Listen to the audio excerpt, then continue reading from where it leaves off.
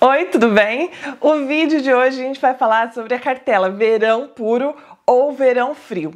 Mas antes da gente iniciar esse vídeo, eu tenho um convite super especial que é para participar da semana Cores da Sua Beleza, onde eu e a top maquiadora Alice Salazar, minha amiga e hoje parceira nesse projeto incrível, nós vamos disponibilizar três aulas para você que deseja aprender mais sobre a coloração pessoal e saber como se tornar uma consultora de coloração pessoal. Para garantir a sua vaga nesse evento 100% online e 100% gratuito, é só clicar na descrição aqui desse vídeo, tá certo? E, gente, então hoje a gente vai falar sobre o verão puro. Já rolou vídeo de outras cartelas, fique ligadinha aqui no canal e no Instagram também, porque vocês né, vão conseguir ver aí os vídeos de todas as cartelas. Então, se essa não é a sua cartela, procure o vídeo por aqui, porque você vai encontrar, tá certo? Bom, no método sazonal expandido, nós consultoras classificamos os diversos tipos de pele conforme as cores do cenário de cada estação do ano, conforme né, demonstrado aí na imagem, e não na sensação térmica da temperatura da, de cada estação, e sim na temperatura das cores, tá certo? E por suas cores características da estação, o verão é sim considerada uma estação fria na coloração pessoal. Mas isso porque o cenário dessa estação possui céu azul claro. E quanto maior a incidência de sol, mais fria e clara e suave as cores ficam, que compõem né, a paisagem característica dessa estação. Por esse motivo, a estação de verão, no método sazonal expandido, ela é uma estação né, de cores frias, suaves e claras. E nós temos essa cartela que é o verão puro, né, uma cartela pura, onde a principal característica é a temperatura, e nós temos outras duas neutras frias, o verão suave e o verão claro, onde a profundidade e a intensidade são as principais características, e a temperatura é uma característica secundária, tá certo? Então, essa é uma cartela de cores frias, puras, e isso significa que essa é uma cartela onde a temperatura das cores frias é o que mais vai valorizar a beleza natural das nossas clientes que possuem essa cartela.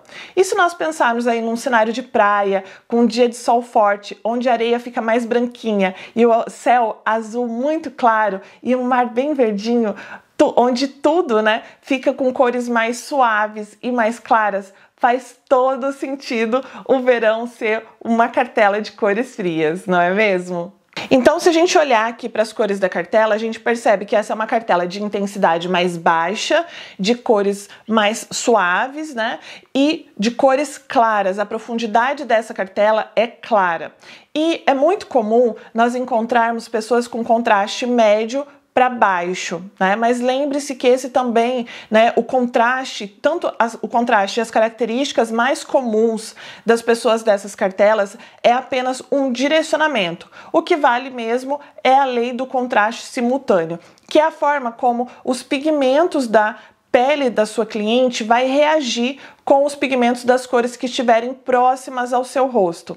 Com a diversidade de peles brasileiras, devido né, à mistura grande de etnias e peles com características tão diversas na mesma pessoa, por conta da miscigenação, é impossível tentar prever as cartelas baseada apenas nas características. Por isso, nada substitui o teste realizado por uma consultora. O resto, gente, é apenas achismo, tá certo? Os metais que mais valorizam essa beleza são os prateados, por se tratar de uma cartela fria, pura, né? Mas é, por ser uma cartela também de cores claras e suaves, os acabamentos foscos e polidos são é, muito bem-vindos nessa cartela.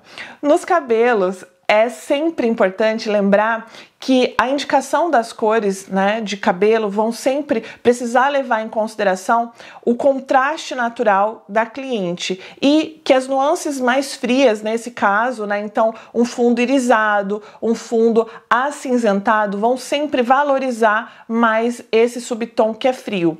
E é importante fugir das nuances com fundo mais dourado, acobreado e amarelado, para não entrar em conflito com esse subtom frio. Na maquiagem, a cartela de verão puro, ela possui um fundo mais rosado, né? A pele possui um fundo mais rosado e um bege frio. Então, o ideal é procurar bases com subtom frio e evitar tons quentes na make. E né? Principalmente para não é, conflitar com esse subtom. E é interessante também lembrar que essa cartela ela não possui o preto. Então nós podemos trabalhar a profundidade com os tons de marrons frios da cartela, né? Já vai ser o suficiente. E lembrando que repetir as cores da cartela na maquiagem da cliente é muito importante para permitir que ela consiga usar, inclusive, cores e acessórios que não estão na sua cartela caso seja o desejo dela, que eu acho muito digno, até porque a vida é muito curta, gente, para usar apenas as cores da cartela, né?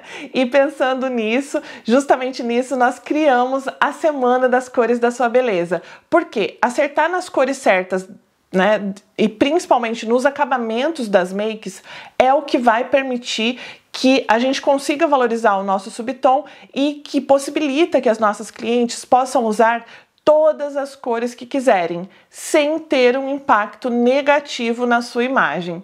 Corre, clica no link aqui abaixo para garantir a sua vaga. Eu e a Alice, a gente te espera por lá e vai ser muito bacana ter você nesse evento das cores. Uma semana super colorida e de muito conteúdo. Corre, garante a sua vaga e eu te vejo lá. Beijão, tchau, tchau.